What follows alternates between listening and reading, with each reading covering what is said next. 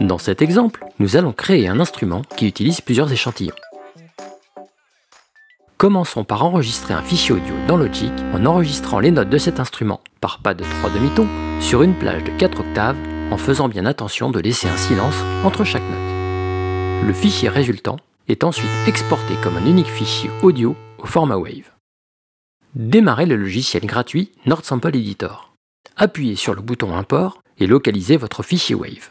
Appuyez sur Open. Le fichier est maintenant analysé automatiquement et les notes sont assignées à la note correspondante. Appuyez sur le bouton lecture ou sur la barre d'espace de votre clavier pour écouter l'échantillon sélectionné. Utilisez les flèches gauche et droite de votre clavier d'ordinateur pour passer d'un échantillon à l'autre et les écouter.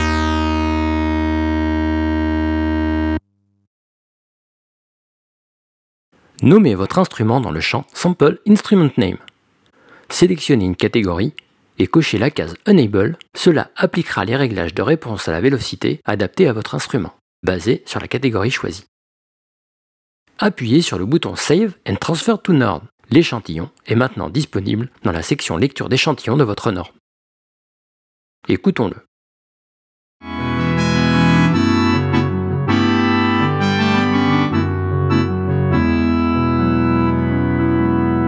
Et maintenant, ajoutons des effets.